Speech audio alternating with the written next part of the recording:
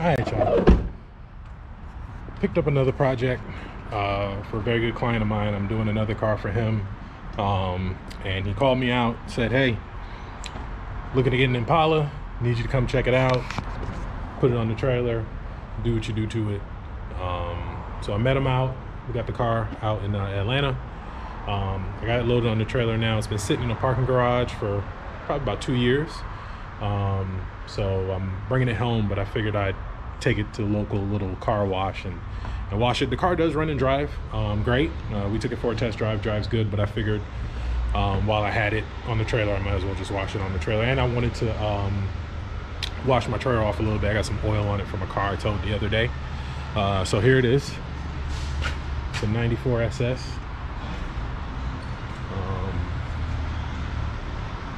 pretty much original, uh, except for the radio and um, other than that. Believe it or not, the rear seats are the only like uh, are worse than the front. The front seats are okay. Um, the rear seat is really the one that's that's messed up. So we already talked about getting that done. We're gonna take care of the headliner, put some new carpet in it, uh, pretty much re redo the whole interior. I've already talked to my parts guy, told him what I need, so he's gonna be on the lookout. Um, wheels right there is cracked, look like somebody banged the curb pretty hard in it, and it's pretty dirty. So I'm gonna go ahead and clean it up, get it uh, all cleaned up, and um, get it going. For those who don't know, the 94 was the first year the Impala came out, and uh, you can always tell a 94 because the, it has the mirrors down here on the door, and in the back, instead of having the quarter mirror, um, it has it, and then it has these little plates over it, so it looks like a removable plate um, on the 94. Other than that, they're identical to the 95 and 96. Well, the 95 uh, identical to the 95 really because it's got the um, the cup holder and the column shifter. Uh, but other than that, it's it's pretty much the same. Um, so we're gonna get him a new spoiler. Um, may have to get him a new front bumper. It's a little crinkled on the other side. We'll see.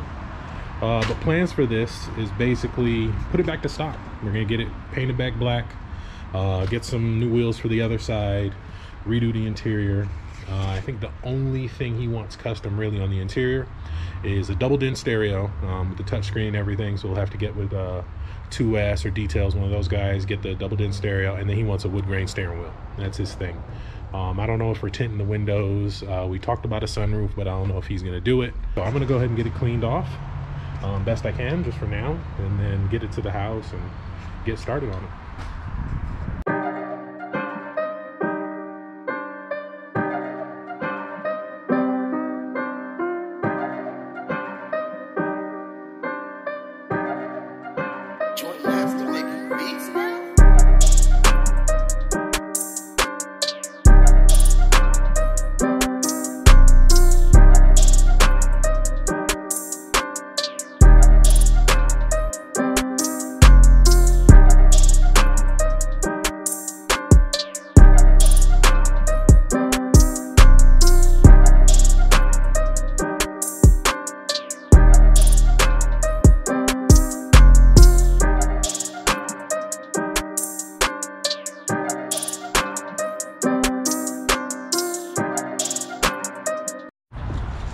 Right, we got it all cleaned up. Um, it's not great. Looks like somebody splashed some paint on it. Um, this is coming off pretty good with the uh, pressure washer, so I'll get a razor blade, get the rest of that off, and then when it gets painted, they'll take care of all that. So I'm not too worried about that. Uh, but it cleaned up pretty nice. I'm not gonna dry it off. I'm just gonna let it air dry. I mean, um, doesn't have to be perfect. It's getting painted. So, and normally, normally I am so against using this to wash your car. It's so I, oh, I hate when people use these things to wash their car. I mean, it just destroys the paint. Um, the only reason I used it is because this car is getting painted, so we don't have to save the paint or anything on it. Um, other than that, I do not use it, and you shouldn't either. Um, so it's all cleaned up. So we're gonna get it home, uh, get it parked. Probably have to put it in the garage because looks like somebody tried to break in. So I got to change the locks, change the trunk lock, some other stuff. Um, but other than that, she, she's ready to go. So we'll get her home, and I got my trailer washed off, and we'll let it air dry. So I'll pick it up uh, later on as I do work on it and stuff like that. Um, I try to start putting these videos out more often. I met a couple subscribers and you know um, just randomly, and you know they were like, "Yeah, man, we look forward to the videos and everything like that," and I just haven't been posting them. So I'll go ahead and uh, get this thing home, and then uh, as we dive into it, get it painted, get the interior done, uh, stuff like that. I'll keep you guys updated on this build and who it belongs to. So we'll get it out of here and get it home. All right, y'all. Got another one for you. So getting a little progress done on the 94 Impala. Um, spoke to the customer, said he wants to um, get the interior done as soon as possible. So we're gonna get the interior done, get the, um, fix the door locks, get a lower dash, upper dash, and I think he needs a driver side door panel. So hit up my boy Ivan. Um, and so I don't know if he has those parts yet, but I'm getting ready to go drop the seats off because if you didn't know, he refurbished seats. He has a guy that's really, really good, does a great job. So I got the seats pulled out. As, you can see, these things are pretty bad. So, so if you remember from the first video, the front seats actually aren't this bad. These are some different front seats that I had laying around. So I figure since those aren't in too bad of a shape, I can leave them in the car and get these ones done. And then I'll just swap them with the, uh, with the ones that are in the car currently. And these are the back seats that were trashed. So getting ready to load up um, and take these to Ivan uh, so I can drop these off, get them done. Got a couple projects I'm working on here. It's a 96 that came in for an oil leak. Uh, turned out to be a power steering leak, so I replaced the high pressure line, uh, put a new radiator in it, and new oil cooler lines. I think that's from the uh, front seal. I haven't addressed that yet. And then I'm taking apart the wipers because the wipers don't work. Okay, so that's not supposed to happen. So once I fix that, I'll get an update on that. Wife's Impala still in here. I got some issues with the title that we're trying to work out, so that's why you haven't really been seeing me uh, do any videos or anything on it. so she's still around. Uh, I took the wheels off because actually the wheels that were on it actually came off of my car, and I was gonna buy some other wheels um, for my car. But when all this happened, I was like, well, you know what? I'm just gonna take them off, put it back on the stocks, put those wheels on my car, and then eventually later on, I'll put some different wheels uh, on it. So, I mean, the only thing I got done on it so far was I got the engine somewhat taken apart. It had a misfire on cylinder two. So I was getting ready to change the wires. Uh, water pump was leaking, so I was gonna put a new water pump on it. And I was gonna take the headers off because uh, those are Edelbrock headers and they have a they have a leak and they you know I just don't like them. Um, I've seen these and the hooker headers up at Ivan's shop on a lot of cars that were burnt up. Uh, so just because of how much heat they create under the engine bay and what they're close to, for some reason they all, a lot of them catch fire. So I didn't want to take any chances on it. But once we get the title situation sorted out with this, I'll do some more videos on this. Uh, this one is a is another one. It's a LS3 uh, 4L80 that came to me. Um, the engine was already, engine and trans was already in the car. Um, I just had to kind of finish it up, put the intake on, uh, tighten up the fuel system, get the power steering lines in. I put a computer, uh, it came with the E38 computer, um, and he had bought like a TCI transmission controller, and it was just a whole mess. So we ended up getting another E38 computer from a 2009 Express van with a T42 to control the 4L80. I actually just got this to start for the first time yesterday because uh, when I hooked up the new computer and transmission uh, controller over there, it didn't start, and I had to go in with HP tuners and um, and remove the VATs and the anti-lock codes and all that good stuff. But once I did that, she fired right up. So this one's gonna be done pretty soon. Uh, the customer is bringing me just the last few things to finish it up. Um, air filter, uh, oil cap.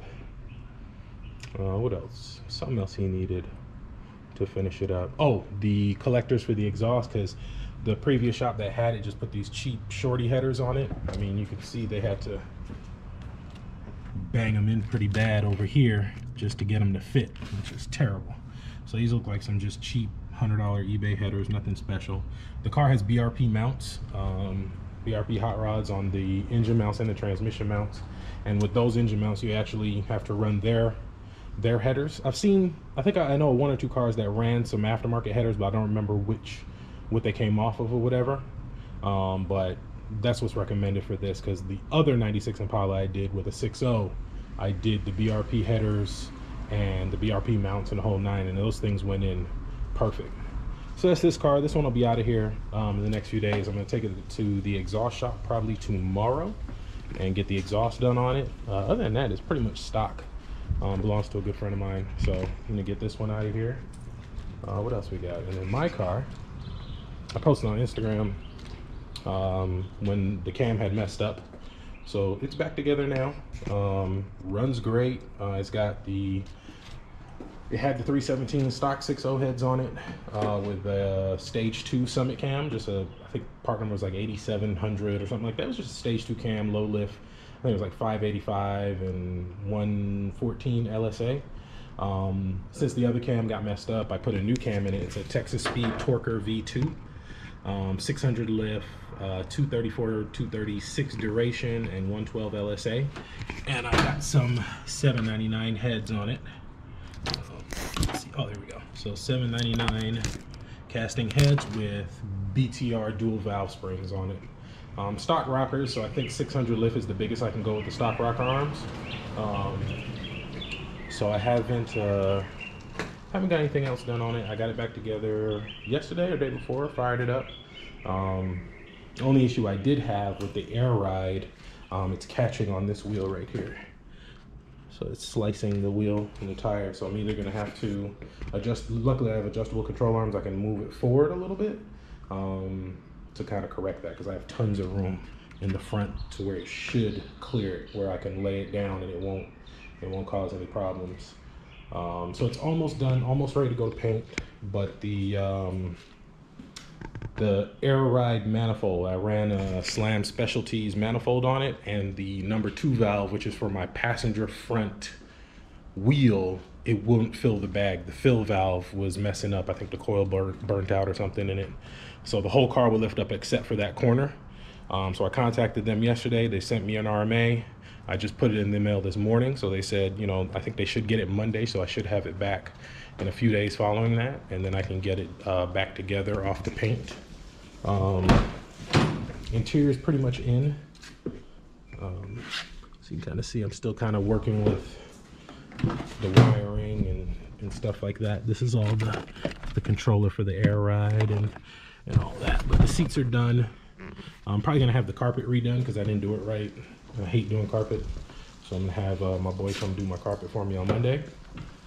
And um, yeah, so she's back together. She runs good. Actually sounds a lot better than it did um, before with the new cam in it and the new heads. So, and then the last thing I got is uh, a green DGGM that's getting an LS swap, but I'll do a whole separate video on that. I'm not even gonna show you that yet. I'm gonna do a separate video on that. So those are the current projects I got here.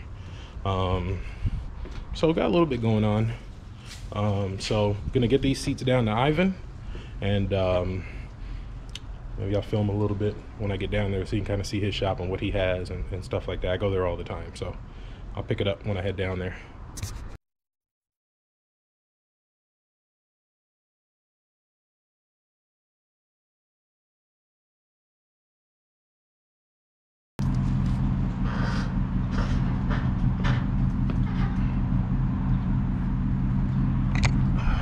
All right, so we loaded up, got it strapped down, get it home, inventory the extra parts, and um, basically start on this swap.